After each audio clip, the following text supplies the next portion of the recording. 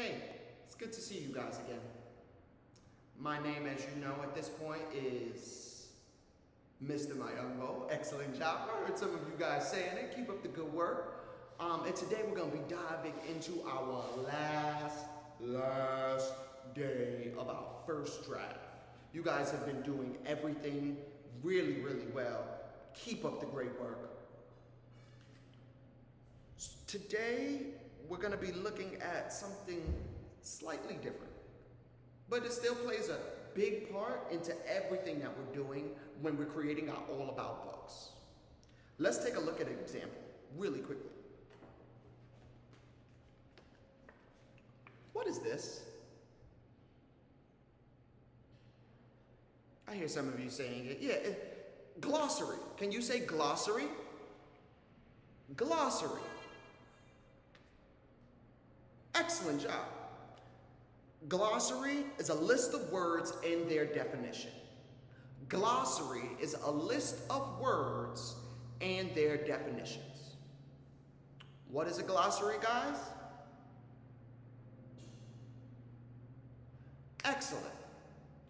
Today, we're going to be creating our own glossary because all of our authors always have a glossary to help them better understand more about their specific topic. So your words that will go into your glossary needs to match your topic or needs to be suited with your topic. Give me a thumbs up if that makes sense. Excellent job. So,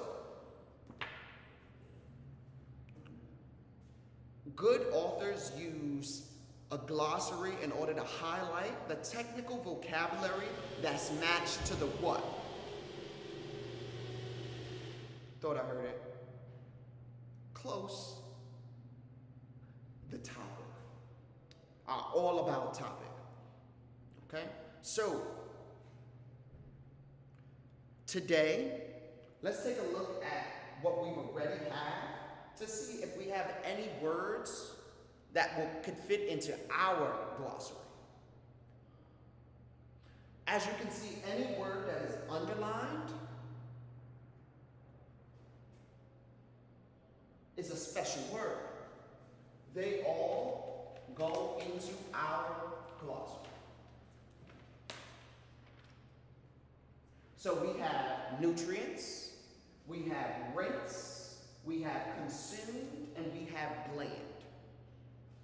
Tonight for homework, your job is to dive back into your all about books and pick out a few technical vocabulary that will go into your glossary